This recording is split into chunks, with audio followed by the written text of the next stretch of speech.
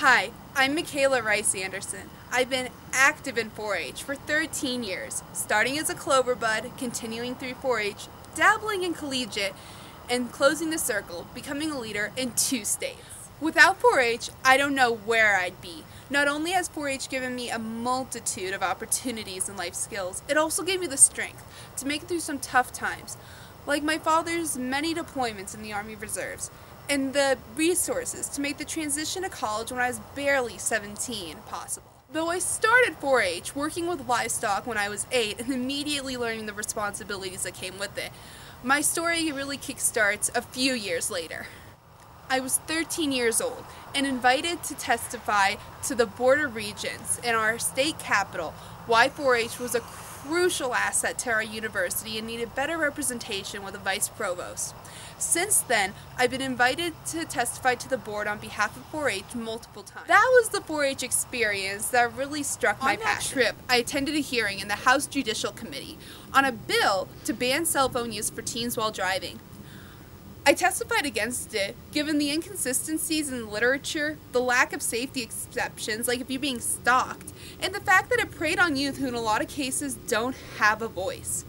My testimony was later used and quoted in a committee where the bill was stopped and a more inclusive version was suggested. I didn't stop there. I made it my mission to get youth involved in their government. I taught classes and did presentations to the 4-H and to the school district, and I contacted legislators to schedule them to speak with our youth.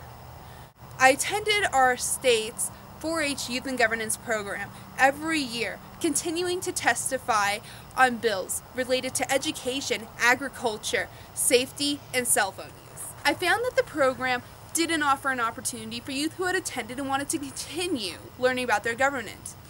I worked with the 4 H agent, the Youth and Governance Director, and legislators to create a part two where youth could actively shadow their legislators attending floor sessions, meetings, and receptions, as well as work in the office doing constituent work and research, making it a hands on learning experience. When I was 15, my father was deployed to Iraq for his second tour.